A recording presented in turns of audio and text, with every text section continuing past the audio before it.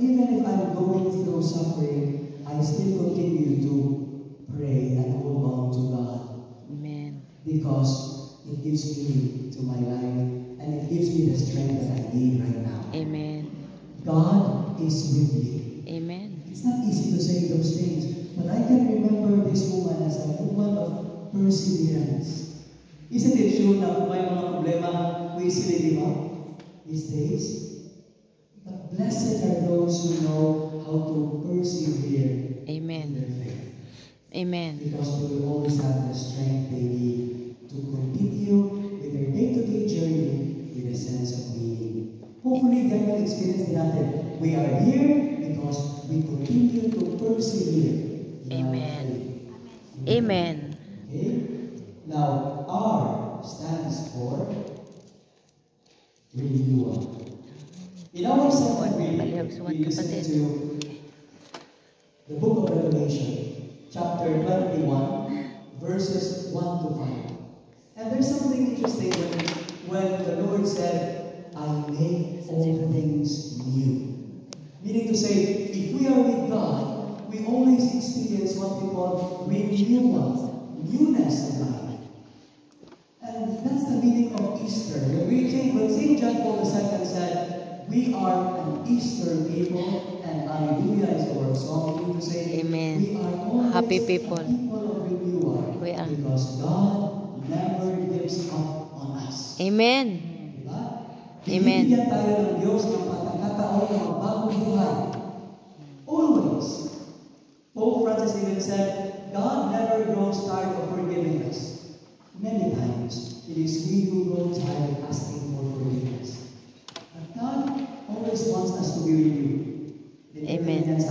gusto natin na maka-experience ng pagbabago with the grace of God. Amen. Diba? Kaya nga, yan yung reason eh, bakit hindi tayo pwedeng maghusga sa isang tao na wala ka ng chance. You'll be like that forever. Because even God does not give up on us. We are a work in progress. And so there will always be an opportunity for us to be renewed. Only if we really allow God to change our hearts. Diba? Amen. This time na nag-celebrate tayo ng anniversary, we can beg the Lord for a particular grace. Lord, bigyan niyo ako ng, ng biyaya, particular grace, na may experience ko itong renewal. For example, for quite some time, we have been affected because of the pandemic. It's not easy to recover from the pandemic. I know of some people na sabi nila, parang hindi na yung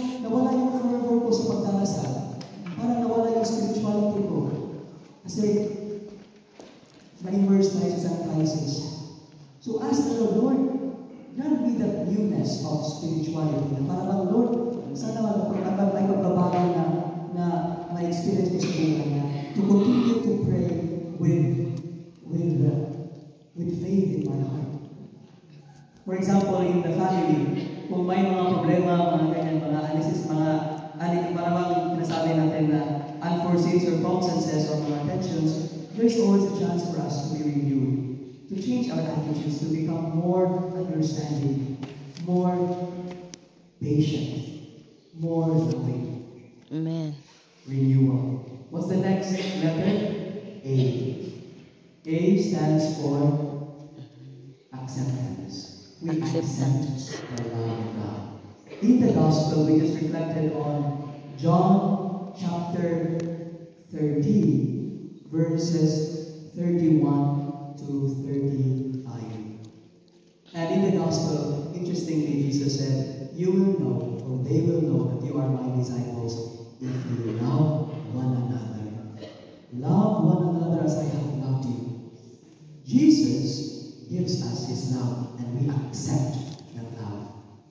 The moment we accept the love of God, we experience transformation because God's love is so powerful. Amen. It can transform our hearts. Can you imagine when I was giving a retreat to a group of catechists? May nakilala ko sa catechist na sabi niya, you know, Father, I am doing this particular ministry for many years now. I'm helping the prison ministry of the diocese.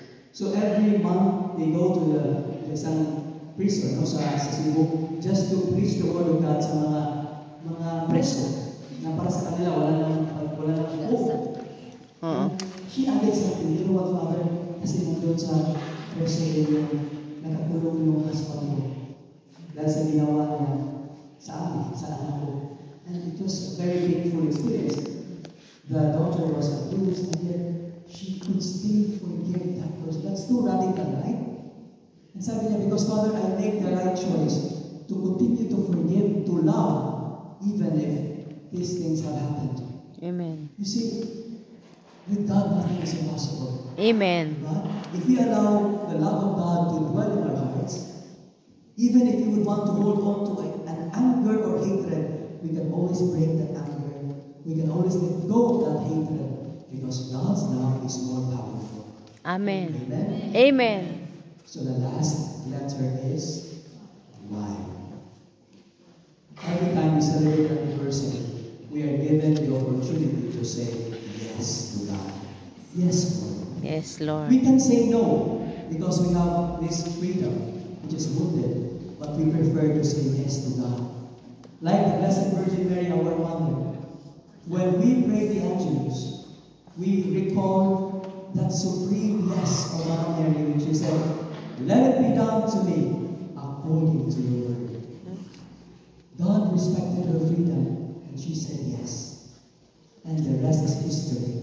Salvation has entered into the world. Amen. Thanks to this humble woman from Nazareth who said yes to become the mother of Jesus. Amen. Okay? So hopefully, after this celebration, we will be able to review our yes to God. Yes, Lord. Yes, Lord. How do we concretize that? Yes. For example, if we notice that people in our hearts, there are times when we just think of ourselves and we don't want to sh- share our blessings or or be generous with other people, to other people, and yet we choose to say like, Lord, I share something with this with the poor, or Lord, I do something for this sick person. The moment that, we say yes to God. Yes, Lord. Amen. Diba? If deep within our hearts, papasok pa rin yung negativity, oh, yung ginawa niya sa iyo, or ito yung nangyari. Si Father And then we taga say, Cebu. Lord, I Taga want to Cebu go siya. of this.